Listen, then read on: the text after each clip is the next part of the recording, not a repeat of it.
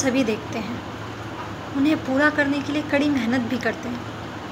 लेकिन सपने को जीने का मौका बहुत कम लोगों को मिलता है। हमें हार नहीं मानना चाहिए। हमें सिर्फ़ इतना करना है कि मंजिल तक पहुँचे बिना थकना नहीं है। रुकावटों को देखकर रुकना नहीं है। सादर प्रणाम।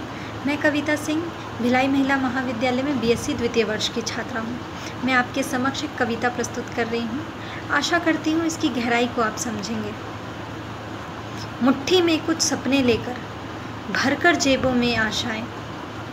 दिल में है अरमान यही, कुछ कर जाएँ, कुछ कर जाएँ। सूरज सतेज नहीं मुझमें, दीपक सा जलता देखोगे। सूरज सतेज नहीं मुझमें दीपक सा जलता देखोगे अपनी हद रोशन करने से, तुम मुझको कब तक रोकोगे? तुम मुझको कब तक रोकोगे?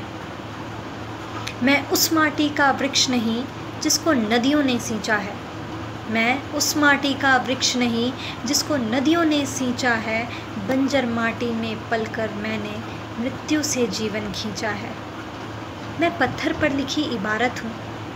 मैं पत्थर पर लिखी इबारत हूँ, शीशे से कब तक तोड़ोगे?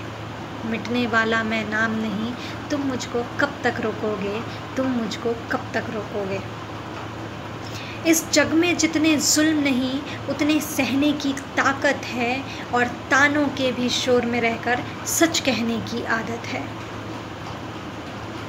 मैं सागर से भी गहरा हूँ। मैं सागर से भी गहरा हूँ, तुम कितने कंकड़ फेंकोगे? चुन चुन कर आगे बढ़ूँगा मैं, तुम मुझको कब तक रोकोगे? तुम मुझको कब तक रोकोगे? झुक झुक कर सीधा खड़ा हुआ, अब फिर झुकने का शौक़ नहीं। झुक झुक कर सीधा खड़ा हुआ, अब फिर झुकने का शौक़ नहीं। अपने ही हाथों रचा स्वयं, तुमसे मिटने का खौफ नहीं। तुम हालातों की भट्टी में जब जब भी मुझको झोंकोगे तब तब कर सोना बनूँगा मैं तुम मुझको कब तक रोकोगे? तुम मुझको कब तक रोकोगे? धन्यवाद।